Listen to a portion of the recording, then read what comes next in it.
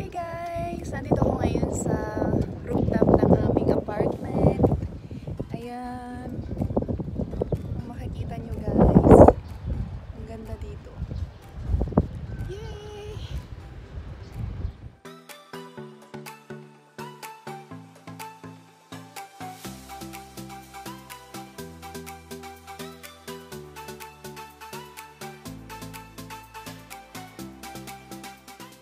Hey guys! Welcome back to my channel. This is Filipina and Turkish Vlog and today is May 1, 2020. It's Friday.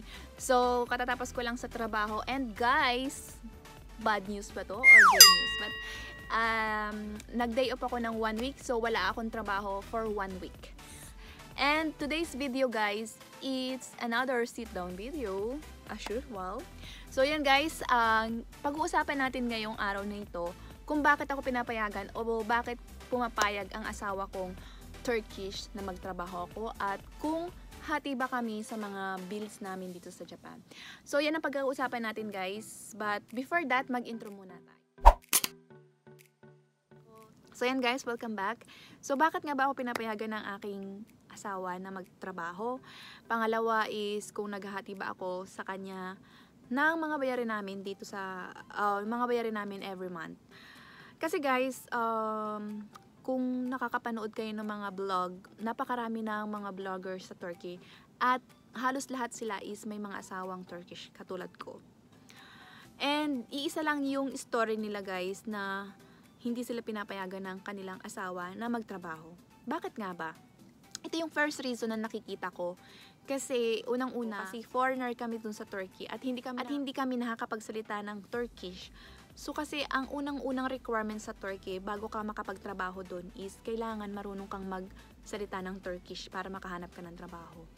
Pangalawa is uh, mababa lang yung sweldo dun. So kung gugustuhin mo magtrabaho, katulad sa akin guys, yung experience ko, naghanap ako ng trabaho sa hotel, uh, ang baba lang ng sweldo nila doon at halos uh, nasa magkano yun 2,000 2,000 tele lang so yung pamasahe ko pagkain ko hindi pa included yun so parang kukwentahin ko napakukunti lang yun yung reason yun, kaya yun yung reason kung bakit hindi sila pinapayagan ng asawa nila na magtatrabaho. Kasi, kwentahin mo guys, halos wala din yung sweldo mo. Halos napunta lang sa pagkain, sa pamasahe, and may matira man, konti lang. So, yun yung pangalawang reason.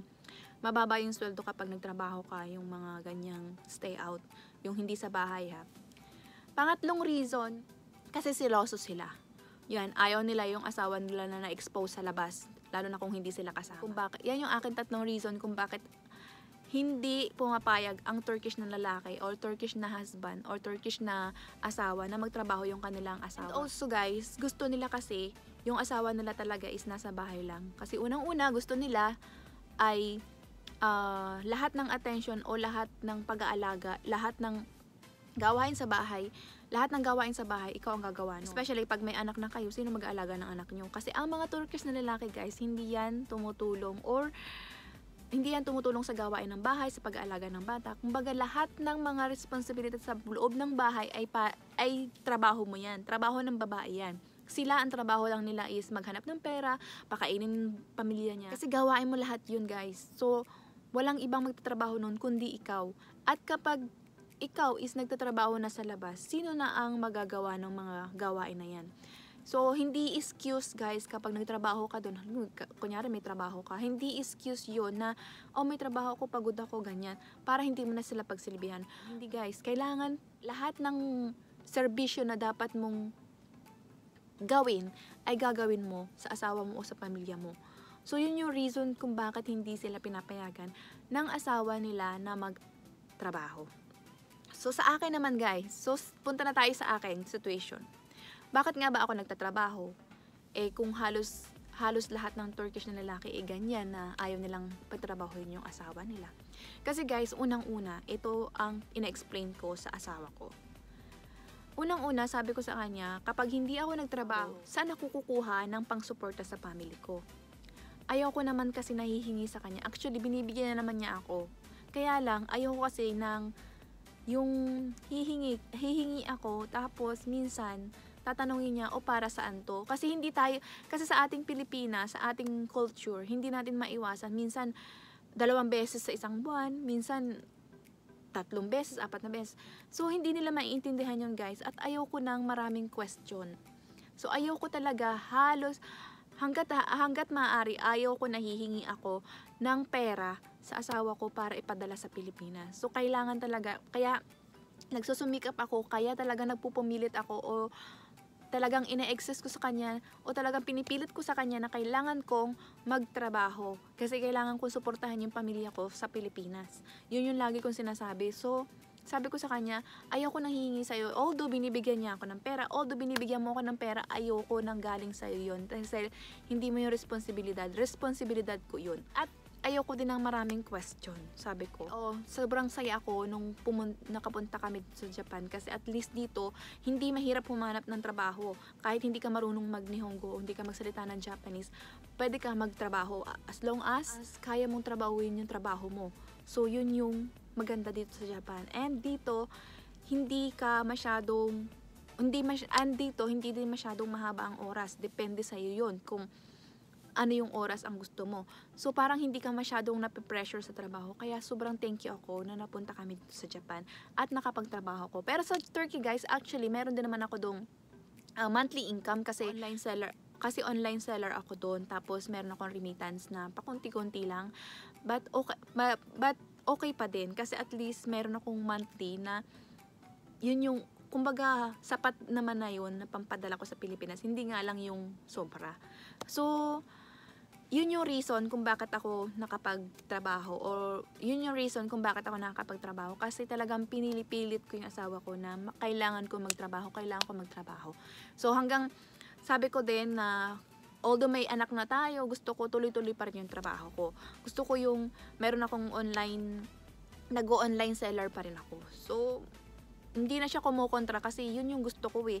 Pinipilit ko sa kanya yun eh kasi ayoko, ayoko na ako sa kanya ng pera eh. Kasi guys, hindi talaga ako humahawak ng pera namin. Siya ang lahat. Meron man, meron ako yung sa akin lang is credit card na connect din yun sa kanya at hindi ako nakaka-withdraw ng pera doon. So, talagang credit card lang yung gamit ko. Kaya wala akong cash. Kaya may cash man ako pero sarili kong kita yun o sarili kong income yun. So, yun yung reason, guys. And pangalawa is, is nagsishare ba ako ng mga bayaran namin monthly? Hindi, guys. Hindi ako nagsishare sa kanya. Yung pera ko, pera ko lang. Yung pera niya, pera niya lang. Wow! ganon. Pero ganon talaga. Pera niya, pera niya lang. Pero actually, kung ano yung mga bayaran namin lahat, pagkain, uh, bahay sa Turkey, bahay dito sa Japan, lahat po yun, pati yung insurance ko, lahat po yun is sa kanya yung lahat. Yung pera ko, yung sweldo ko, para sa akin lang yun. So, sapat naman siya panpadala sa Pinas. And, konting ipon, pag bumalik na ako ng Turkey, so wala na tayong trabaho doon, panibago na naman. At least mayroon akong maipapadala kapag wala na akong trabaho. Yan din yung kagandahan sa mga Turkish guys na uh, hindi sila, hindi nila pinipilit o hindi sila humihingi ng pera sa'yo. Kahit sa mga kahit sa mga may asawa na mga Turkish na Turk kapwa nila Turkish, hindi sila humihingi sa babae ng mga uh, share para sa mga bayaran. Palag depende din yan sa status ng trabaho ng lalaki. Kung si lalaki is wala namang hindi rin masyadong malaki yung sweldo niya, and then yung babae, hindi rin masyadong malaki ang sweldo nila. So talagang siguro naghahati sila. Pero sa aking situation guys, situation guys, hindi ako naghahati sa asawa ko. Siya lahat yon Sa mga bayarin sa bahay, sa bahay sa Turkey, internet, sa cellphone, sa ano, sa lahat-lahat guys. So, yun lang guys, ang na-share ko ngayong araw. And, and tatapusin ko na aking video today. And sana supportahan niyo pa ako sa mga susunod kong mga uh, videos. And thank you so much guys. Bye!